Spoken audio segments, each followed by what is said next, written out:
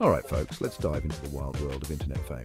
Today we're talking about Hayley Welch, better known as the Hawk Tuah girl. If you haven't caught it yet, her quirky advice from a street interview went viral, turning her into an overnight sensation. I mean, who would have thought those two words could take the internet by storm, right? So, what's the deal with Hawk Tuah? Well, it all started with a humorous, some say crude, street interview about her sex life. Her unexpected response, Hawk Tuah, became an instant meme, flooding platforms like YouTube and TikTok. We're talking millions of views here, folks. Now, with fame comes opportunity. Welch didn't just sit back and enjoy the ride. She capitalized on it.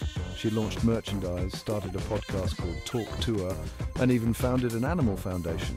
She's really making the most of her 15 minutes of fame, but, and there's always a but, not everyone is on board.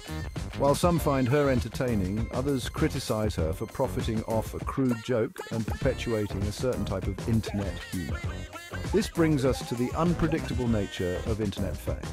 One moment you're a star, the next you're facing backlash. Despite the mixed reactions, Welch remains optimistic. She's got a management team, does paid appearances, and keeps engaging with her fan base. But the big question is, will her fame last, or is it just a fleeting internet moment? This brings us to a broader issue, the problem with fleeting fame.